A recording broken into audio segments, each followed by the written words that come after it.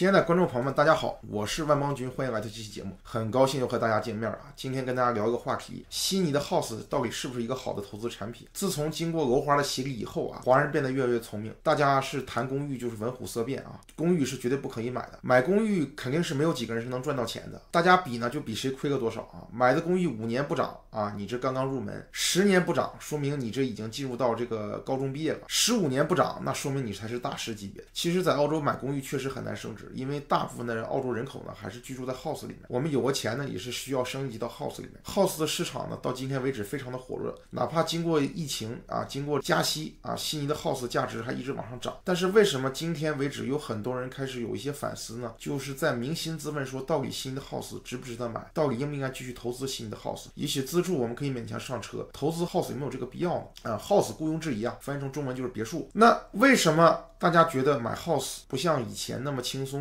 为什么觉得大家买 house 觉得说在投资 house 要考虑考虑呢？其实我分析了一下，主要是有以下几个原因。第一个原因是因为 house 的价格比较贵一些。如果今天我们华人想买自己喜欢的一个 house，我们基本上来讲的话，要四房五房啊，最好是双层啊，楼下都是活动空间，有这种会客室，有这个餐厅，有厨房，楼上是四到五个睡房，满足我们这种需求的 house，最起码也要两百万以上出头。而且呢，这种 house 我们还不单纯只是买到这样的的面积，这样的户型，我们还希望它在学区里面啊。那我们华人喜欢的所谓 Golden Kiara、s n e l s 那就不用说，基本三到四都很正常。去山区买个入门级别的话，两百万以上那是非常非常正常的事情。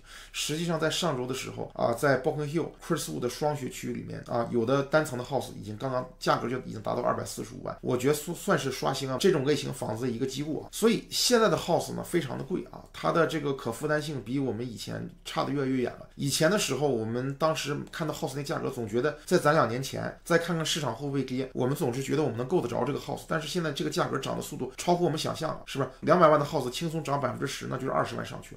那我们的薪水能不能涨到百分之十呢？我们今年挣二十万，明年能不能挣二十二万呢？其实对很多人来说，他的薪水一年都涨不到百分之十。所以第一个问题就是 house 现在越越贵了，我们华人觉得买不起。第二个问题呢，就是还款问题。我们现在从二零二零五月份开始，我们到今天为止总共有十三次加息，我们的利息从最开始的百分之二变成了百分之六，整整是翻了大概三倍。那这造成了什么结果呢？我们哪怕买一个两百万入门级的 house，贷款一百八十万，按照现在百分之六的利息算啊，很多人还拿不到百分之六的利息啊。自住房本息同还，我们每个月还款要还将近一万一千块钱。大家知道一万一千块钱是什么概念呢？如果你税前收入是二十万，你打完税之后，你每个月的盈余的话就是一万块钱。打完税之后，二十万的税后收入是十二万。你一个二十万的收入，税前收入，最后打完税之后，你所有的钱都要去还一个两百万左右 house 的贷款。然后呢，你的家庭的所有生活开支就靠另一半去补充。那我们想象一下，在我们华人家庭当中，双职工很普遍，普遍的收入呢加在一起扛办在一起呢，我觉得是三十万左右。其中一个人的二十万收入全部拿去去还贷款，另外一个人十万的收入，他的盈余大概是每年六万块钱，六万多吧，大概就每个星期剩一千块钱。你一家老小就要靠这一千块钱活着，那这个压力是非常非常大的啊。第三点，house 呢打理的比较多一些，这是很多人诟病的一点，尤其是我们现在喜欢的那些上北的 house。当 house 面积特别大的时候，它会有游泳池啊，然后呢，它会有很多的树，然后会飘下来树叶，所以你每天要除草，你要打理游泳池，你还要清理那些树叶，有的时候还有各种小动物会跑进来，所以很多人是苦不堪言。他觉得呢，就这个 house 自住呢，我还可以忍受；如果投资呢，我就更忍受不了。你想象一下，每次要把你投资 house 拿出去做开放，你都要找一个园丁去捡捡树叶啊，找一个人清理你游泳池，想想头都大。就好像一个人。他自己养孩子很困难，他自己的亲生孩子他就觉得好烦。这时候你跟他说，你愿不愿意找一个养子啊？找一个别人生的孩子让你去养。第四点，大家觉得 house 这个租金不是特别好啊？你一个可能两三百万的房子，你租金可能就租一千出头，每年买完之后呢，每年都在贴钱，一贴就贴个四五万，感觉就说本身还款压力很大，再加上租金再不好啊，这个贴钱贴不起，是不是？你自己比如说买个 house，你一年的话要拿个大概税前二十万收入去买，然后呢再买个投资 house，每年需要租金又贴四五万，我又不是李嘉诚，我怎么能买得起 house？呢所以言而总之，总而言之，以上四条呢是很多人在网上反思为什么我们不应该投资 house 的一个根本原因啊。然后的话，那我是怎么看待这个问题呢？首先呢，我觉得对于我们普通人来讲的话，呃，投资 house 应该还是我们唯一的一个出路啊。首先，在国内啊，就是一些自媒体上或者是一些公开的网上的文章上，经常说一件事情啊，就是在中国上大学呢是一件没有出路的事情。就是说，现在有的人说，你看北大毕业的，他还是去杀猪卖猪肉啊，你清华。毕业的可能还是去给人打工啊，挣个大概七八千块钱，还是买不起北京的房子。所以人家说啊，清华北大还不如胆儿大啊，这是王金林讲的一句话。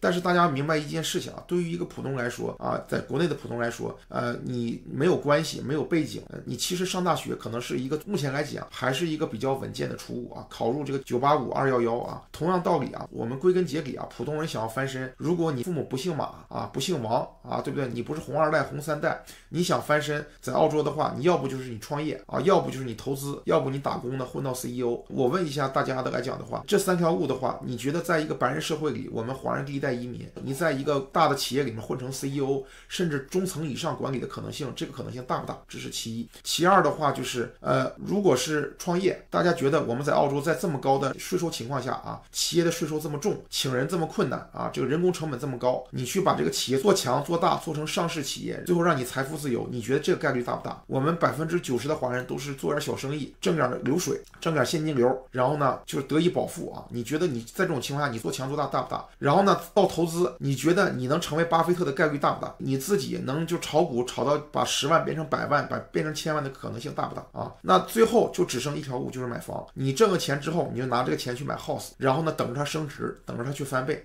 所以在所有我们普通人能接触到所有的渠道当中，house 的门槛确实比以前高了。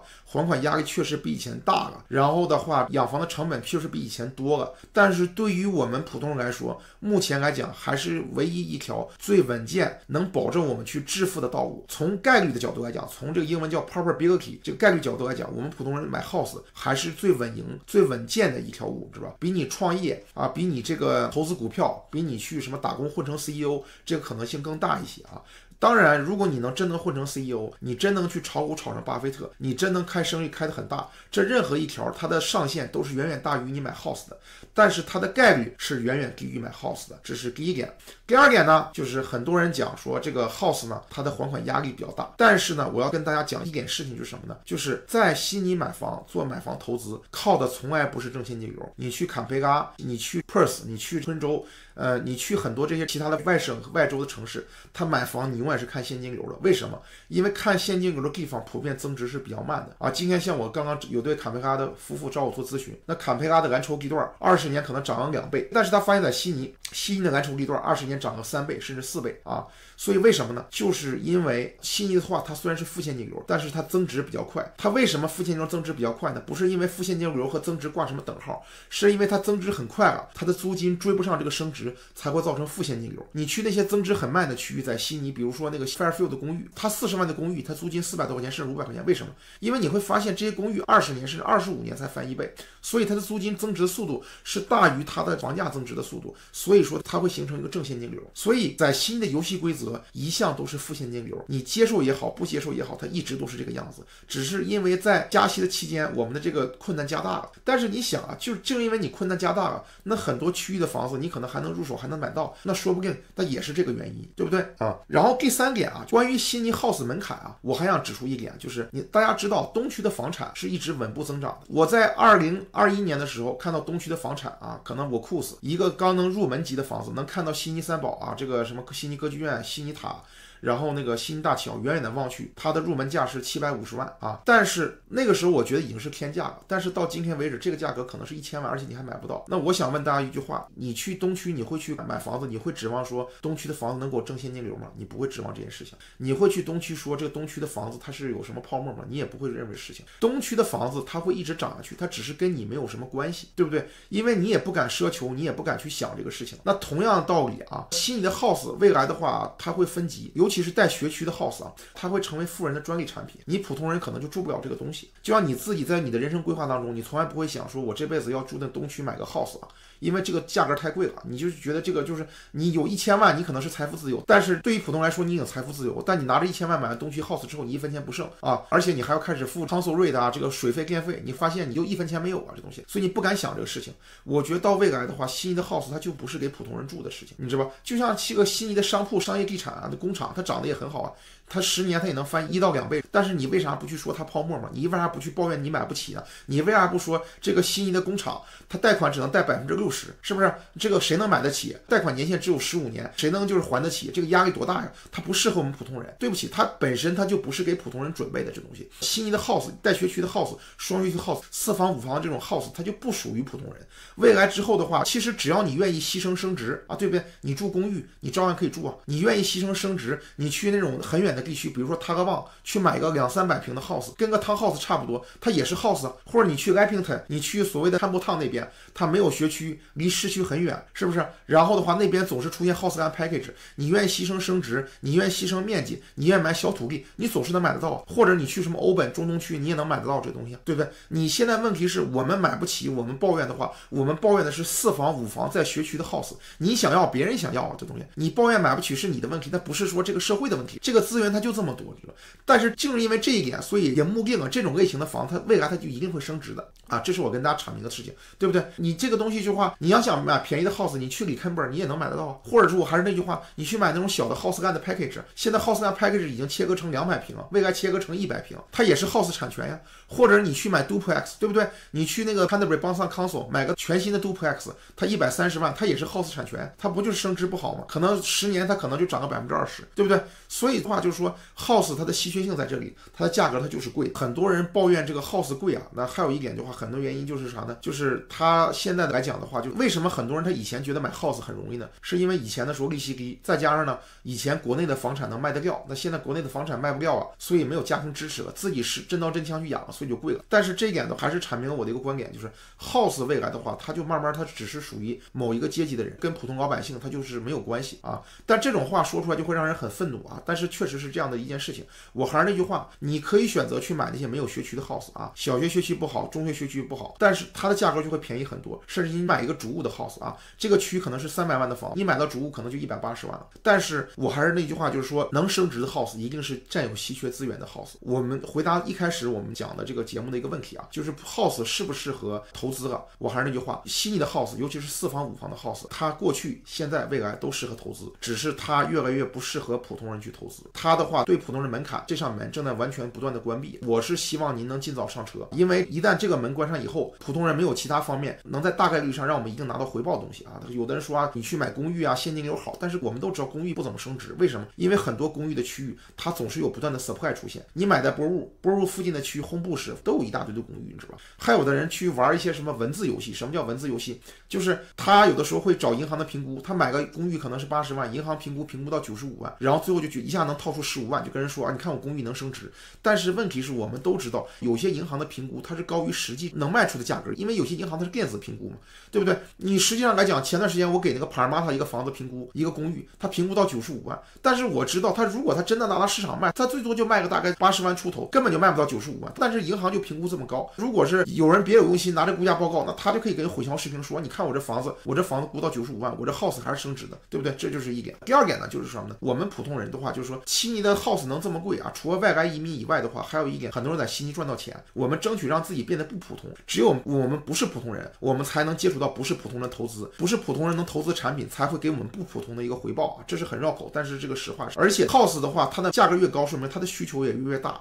为什么这么多需求呢？是因为我们开放了对印度的移民，印度的越来越多的移民过，印度人生了很多孩子，他们需要四房到五房。然后的话，开放了新西兰的护照嘛，就新西兰人待四年可以拿到澳洲身份。那很多在新西兰住大房子住他们也需要 house。而这种四房五房的话，我们现在目前没有替代品啊。实际上你去买公寓的话，公寓现在哪有什么四房五房的公寓？你 town house 很少都有四房五房的，非常少。而且有一点你要明白什么呢？就是你问很多人啊，那他说他不想住，他四房的 house 太贵太困难。那你就跟他说，比如说你在 Strathfield 买一个四房的 house，你可能要三百多万。你去 s t r a t 买两个两房的公寓，每个都八十多万，一个左边一个右边。你跟他说你可不可以不住 house？当然不行啊，他肯定不敢这么安排嘛，对不对？你就跟他说一个楼你买俩公寓都是两房的，是不是？你这空间面积可能就跟 house 差不多，你要不试试？那肯定没有人去这么做嘛，这东西。house 给我们的空间感，满足我们的需求，目前是公寓还有 town house 都是满足不了的。而且现在的话，你看啊，我们在西区的话，就是在新的郊区建了很多的 house land package，原本就是为了满足住 house 人需求，但是那些土地都很小。都是两三百平，真是在那个区买五百平或七百平的 house land，它那新区的价格也不便宜。你可能 box hill 你买个七百平的话，都要大概快接近两百了这东西。所以现在来说的话，就是我对 house 意见还是一句话，它可能不适合普通人投资，但是呢，它依然会过去、现在、未来，它会保持一个稳定的回报。如果你想从概率上找到一个稳赢、稳赚的物，那我觉得在悉尼买 house 仍然是一条路，它的成功的概率是大于你去创业，大于你去投资股票，大于你去成为什么打工皇帝啊。当然了，就是其他三者的上限是远远大于 house，对不对？你 house 还款能力会受限制，贷款能力受限制，各方面都会受限制，但是它的成功率是远远大过任何事情。它实际上就是一个普通人努力后改变自己命运最最好的一个阶级啊！很多人挣了钱之后，他的生意扩大不了，但生意能给他很好的现金流，他就是不停的买房子。所以你看老一代那些什么黎巴嫩啊、希腊移民，动不动手有二三十套房子，他就是这么来的啊！他们就是看准了这件事情。所以希望今天的话题呢能帮到你，这也是我的一个想法，不一定我觉得很多人能接受这一点。有什么事儿咱们大家可以拷问，在下面留言好不好？你喜欢给我点个赞，然后点击关注，我们下次再见。